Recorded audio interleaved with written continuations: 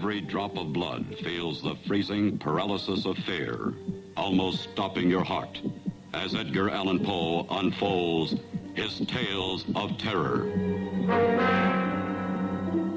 You will meet the master of the mansion, who loved and protected his wife with the strength of a supernatural love, even beyond life itself. I am in command here. You will do as I say. I shall take what I desire. Your body and your soul if I demand it. I've heard enough. Help! Help!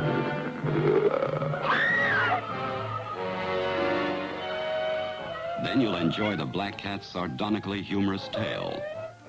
It all started at the Vintners Convention, where the lover of wine met the professional wine taster and introduced him to his wife, a darling who delighted in dalliance.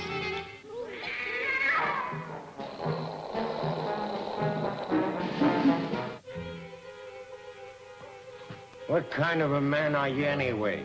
Make love to my wife and doesn't even talk to me. You're insane.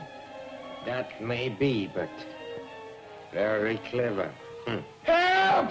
Help! Help! In this monstrous mausoleum of the living, you will witness fury far worse than a woman scorned.